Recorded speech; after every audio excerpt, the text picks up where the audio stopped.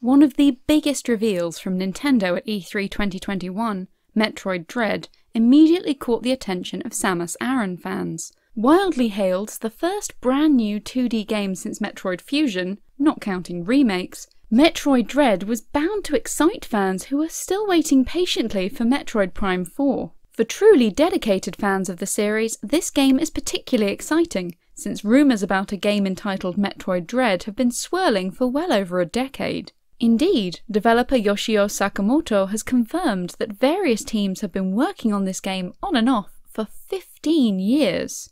Explaining the incredibly long development period, he said, Actually, the idea for Metroid Dread first came up about 15 years ago. However, we gave up on the idea at the time because we felt the technology back then just couldn't properly bring the concept to life. That said, the game has evolved significantly over the years, Sakamoto said. 15 years ago, when I originally conceived of the game, the story itself wasn't clearly set.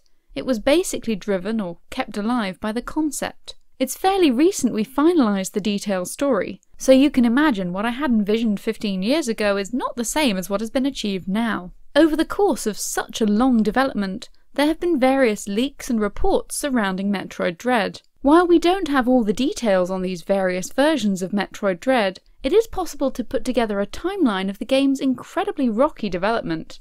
Initial planning for Metroid Dread started not long after the release of Metroid Zero Mission for the Game Boy Advance.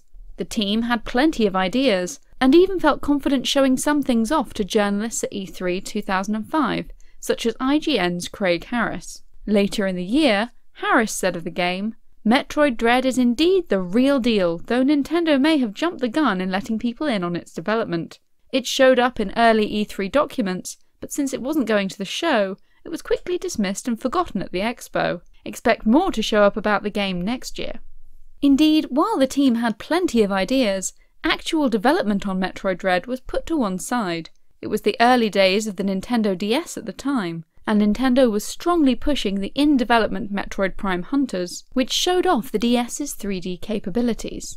It wasn't until a few years later that work began on Metroid Dread in earnest. According to Unseen64, the game was shown off internally to some Nintendo developers at a pre E3 meeting. This version of Dread ran on the DS and used pixel sprites very similar to Metroid Fusion. In fact, one anonymous developer is quoted as saying, It literally looked like a port of Fusion on DS. At around this time, Nintendo was instead gearing up for the release of Metroid Other M, when pressed in an interview with Kotaku about whether this was Metroid Dread, Yoshio Sakamoto said, The day may come when Dread hits the stores, but this one is something that's completely different. This is Other M. The DS version of Dread was ultimately shelved. Based on Sakamoto's recent comments, it seems that the developers weren't able to achieve what they wanted to with the game on the DS hardware. A couple of years later, in 2011, Sakamoto was asked about Dread again. He said, I cannot deny the existence of such a project in the past, but cannot say if it will be what I move on to next or not. I'm sorry, but we would like to keep that game a mystery. After all, there has been a lot of speculation surrounding Dread, and my hope, if at all possible, is to reset the situation at once and start from scratch. The opportunity to finally complete the game presented itself when Sakamoto and his team worked with developer Mercury Stream on the 3DS remake of Metroid 2. The studio had already proven themselves with Castlevania Lord of Shadows, and according to Sakamoto, the reason that I actually met with Mercury Stream was in the hopes that they'd be able to realise the concepts that I had for Metroid Dread. Sakamoto also said, I honestly thought we'd have no choice but to abandon the concept, but then we met Mercury Stream Entertainment, with whom we co developed Metroid Samus Returns for Nintendo 3DS. They are extremely talented. Technically, they're very skilled, they also have great taste, but more than anything, they have an incredible understanding of Metroid games. I was confident that teaming up with this wonderful team would finally allow us to bring Metroid Dread to life. So now, over 15 years after the initial design work was done for Metroid Dread, the developers have had the opportunity to actually create the game they had in mind all along. Here's hoping it lives up to the hype. The moral of the story is that sometimes a good idea is worth holding on to.